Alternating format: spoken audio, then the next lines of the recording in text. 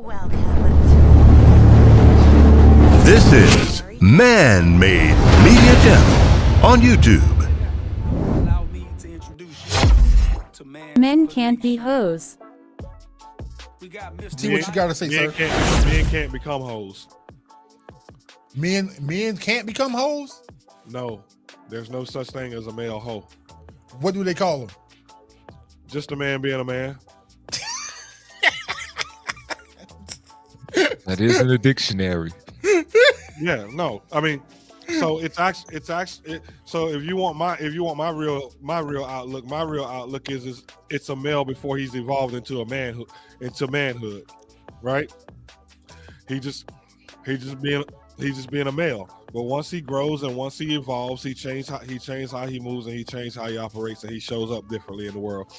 Uh, like when I look at when I look at scripture, scripture ain't got scripture ain't got no word for for a man that's out there dropping his seed off everywhere.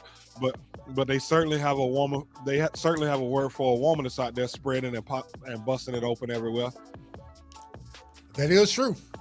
That is Do true. we got to go to the old word harlot? Let me stop. Yeah. Go ahead. That is the word. But but when I talked about everybody go check out my series, I did a show and it was called F It Up Girl. And one of the else inside there, we already know that Kevin Samuels, the late great Kevin Samuels, gave us fit, feminine, and feminine, and fit, feminine, and friendly.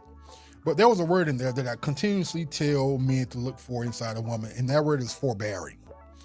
And the word, the the extended meaning of that is when a person has the right to has the right to outlash and they are at full privilege to do it, but they refrain themselves from doing it. That is a forbearing person. And I tell men to look for a forbearing woman because you want a woman that's not going to match your anger if you get out of control. Because with us being men, when men get out of control and get angry, violence can occur.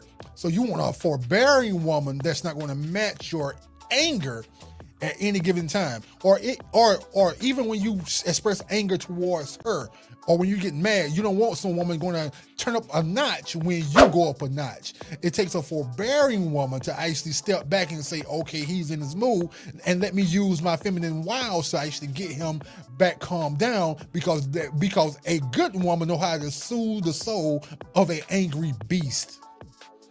The zoo women, the zoo women would say the best way to get over a man is to get up on another one. That is true. But a forbearing woman don't do that. She knows how to move inside the world. She doesn't let a man's actions dictate her actions.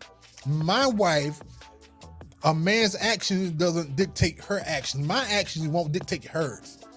She's going to move steadily and progressive and she to move how she always moved. I can get buck wild and crazy but she would still steadily move calm, cool, calm, and collect, and come collect me up and say, You need to calm down. Even though she might have the right to be mad. I think men need to, and I think that's one of the qualities that men miss inside women. I'm with him on that. I'm with him on, on, on that. Men get bitches in holes, they can drive them crazy. And when you push a woman to be that, they will go there. Where you, if, if you put your you push a BR hole to do that, they will do that. But you know, when you go out and you get reckless with a real woman, and you let's say you go out and cheat, and she comes to you and she look at you like, oh, you got caught cheating. She ain't gonna fight. She ain't gonna fuss. She gonna just simply pack her stuff and leave, cause she know who she is. And now you in trouble because you know because when they ain't fighting and fussing, they leaving. It's over. Hey, I will say this, Mister Life. I really agree with a you on point. Like up. when a woman's fed up, let me tell you why I agree with you, Mister Life. When it comes to a forbearing woman, I got forty dollars for a woman to bear it all. So you damn right, I need a forbearing woman. you need you for need you. for her to bear it all, huh? Yes, yes. So you better be forbearing. Thank you, Thank Can you for bear it all too? Can you helped bear it all?